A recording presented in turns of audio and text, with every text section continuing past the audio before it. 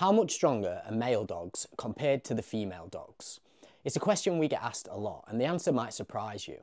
Yes, male dogs usually have more muscle mass, more weight and more aggression on the surface. But here's what's interesting. The females have surprised us multiple times on this channel. You see, female dogs often have something else on their side. Maternal instinct, natural protectiveness, and a no-nonsense attitude. They're often less playful, more focused, and sometimes even more serious when it comes to defending their handler or family. So when it comes to real protection work, do females actually outperform the males? And how much of a difference will we find in their bite force? Let's find out.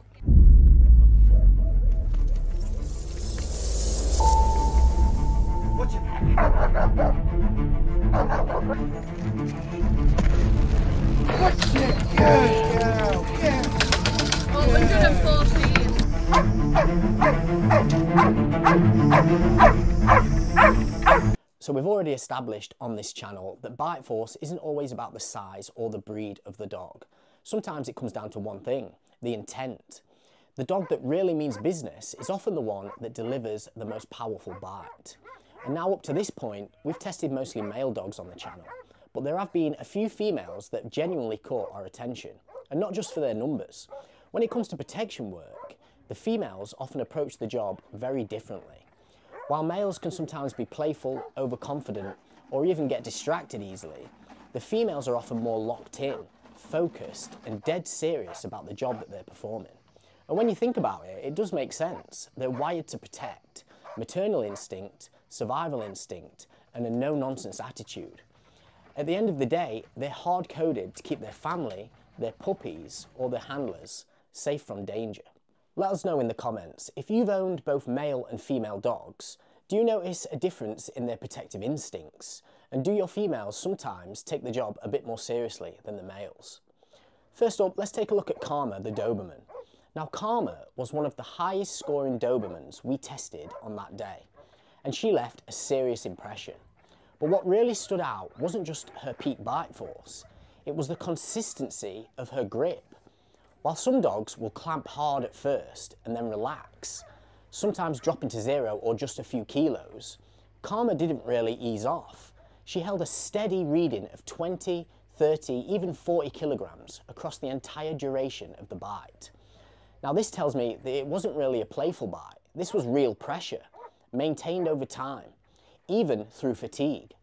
And Dobermans are already known for their natural protection drive, but Karma is the perfect example of that serious, focused, no-nonsense female attitude.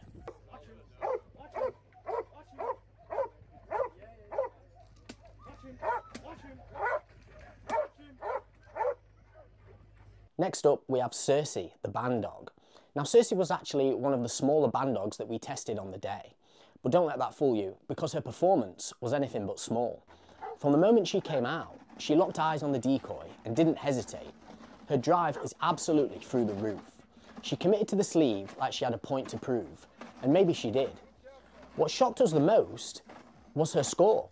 Easily one of the most impressive readings we got from any band dog on that day, male or female. And just like Karma the Doberman, Cersei didn't just score high once, her readings showed multiple strong peaks with a consistently high average bite force across the entire engagement. This is the kind of bite you get when the dog isn't playing games. This is a dog biting like her life or her family's life depended on it. Now let's take a step back for a second because there's something worth noting here. Band dogs, by design, are a serious breed. They were bred to combine the raw power of mastiffs with the intensity and drive of working bull breeds. But when you add female temperament into that mix, you often get a dog that's less showy, more focused, and laser locked on the job. They don't have that look at me energy that some dominant males might have. They just get the job done with precision and purpose. There's also something called maternal defensive aggression, and in the animal world, it's one of the most powerful instincts that you can trigger. It's not about dominance or ego, it's about protecting what matters. And that can make female protection dogs deadly serious when it's time to work. And Cersei embodied that. She didn't come out to show off, she came out to buy, and she definitely bit hard. Next up, we've got Ninja, a female Dutch herder that featured on the channel all the way back in the early days. And let me tell you, Ninja was an absolute beast. She topped our power to weight ratio leaderboard for quite some time, meaning that pound for pound, she had a more powerful bite than any male we had tested at that time. Her performance wasn't just strong, it was relentless. She hit the sleeve like she'd been waiting her whole life for that moment. No hesitation, no games, all business. And the wildest part was, as the session went on, her bite force just kept climbing. While most dogs begin to fatigue and taper off, Ninja was quite the opposite. Her, her numbers just kept going up and up. And at one point, I remember thinking, is this even a dog, or is she some kind of bite force robot? Now let's compare Ninja to Boyce, a male Malinois and a great protection dog in his own right. Now these dogs are a similar size and similar breed. Boyce showed up, focused, and scored really high. In fact, he gave one of the strongest single bite scores we've seen from a Malinois. He's powerful, lean, driven, everything that you'd expect from a top tier working male. And on paper, Boyce should have the edge. He's slightly heavier than Ninja, with more visible muscle and a big engine behind him. But the reality, he didn't actually outscore her. Ninja's average bite and consistency across the session put her ahead. And it makes you wonder, was it the mindset? Was Ninja just more committed? Did she take the bite more seriously than he did? Because while Boyce can bite hard, Ninja made sure that she did, every single time.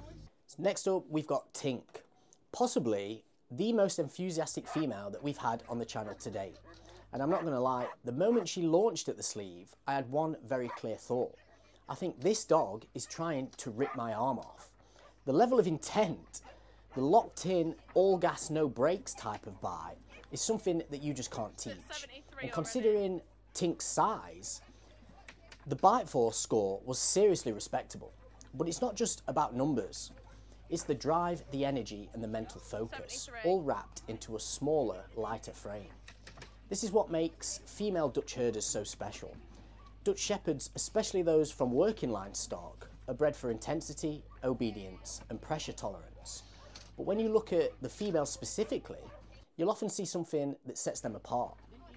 Less ego and more focus, faster recovery between reps, incredible environmental stability, and a relentless, almost mechanical bite commitment. They're not trying to show off, they're trying to get the job done. That's why you'll find that female Dutch herders are used across police units, military canine divisions, and private security all around the world. They're preferred in many cases because they're more biddable, less reactive, and often more methodical than the males. And Tink is a perfect, perfect example of that. You can see the working DNA in her eyes. It's like she clocked in for work and doesn't plan on leaving until the job is done. Next up, we've got a legend on this channel. The most powerful female dog that we've ever tested, Betty the Presa Canario. And Betty came in with a massive bite force of 157 kilograms. That's over 346 pounds of crushing pressure. Now let that sink in for a second. 346 pounds of bite force from a female dog is very impressive. Now her handler gave us a very clear warning before we started. Do not touch Betty while she is on the sleeve, unless you fancy leaving with a few less fingers. This is that classic female, no nonsense, protection mindset. Betty isn't here for games. She isn't here for attention. She's here to lock on and dominate the target. Now, here's what made Betty especially interesting. She wasn't constantly maxed out like some of the other breeds we've looked at. In fact, she was pretty relaxed on the sleeve most of the time. But every time she reapplied pressure, the spikes were enormous. You know, these weren't just strong bites, these were intentional surges. Like she chose to hit hard when she felt it was necessary. And it makes you wonder does Betty even know how powerful she is? Because honestly, it felt like she was taking it easy on us. And she still blew most of the males off of the chart. Now, to put Betty's numbers into perspective, let's compare her to a male Presa Canario. We tested named Rage. Now, Rage is a crushing machine, one of the most powerful dogs that we've ever tested, full stop. And just like Betty, Rage had that classic Presa style bite. Big pressure, then a dip, and then a devastating regrip.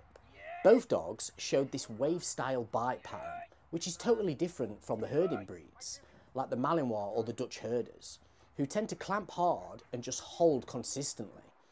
But even though Rage scored slightly higher at peak, Betty's average bite force was arguably more impressive. With multiple bites spiking above 120 to 130 kilograms, that's 264 or 286 pounds of pressure. And she was doing that repeatedly. So while Rage was powerful, Betty brought a different kind of danger. It wasn't just strength, it was control, timing, and a terrifying amount of intent behind each bite. And at the end of the day, I think both dogs bit with serious intent. But Betty, she just went that extra mile. She wasn't trying to impress anyone, she was just showing us exactly what would happen if she ever had to defend her handler in a real life situation. And to me, this is why she stands out. Not just as the strongest female that we've tested, but as one of the most serious protection dogs that we've ever seen. Let's face it, guys, the females are just absolute savages. We've tested big males, elite working breeds, and some serious powerhouse dogs on this channel. But time and time again, these females show up and leave their mark. They're intense, they're focused, and when it's time to bite, they bite like their lives depend on it. From Karma the Doberman, Cersei the Bandog, Ninja the Dutch Herder, Tink, and of course, Betty the Beast. These girls showed us exactly why you don't need to be the biggest dog in the fight. You just need to be the dog that means it the most. And this is what I say when we talk about intent. It plays a huge role when it comes to bite force. Cheers for watching guys. We've got more bite force tests coming up. These videos do take a while to organise, but we've got lots more breeds planned to test. So stay tuned and I'll see you on the next one.